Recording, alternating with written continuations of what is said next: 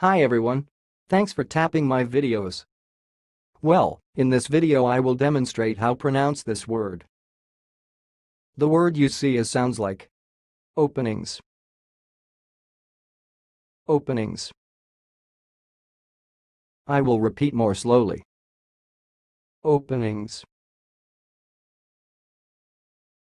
Openings. That's all, thanks for listening. If you liked this video, please subscribe to my channel. If you want to share your opinion, please leave comment for this video. Thanks and goodbye.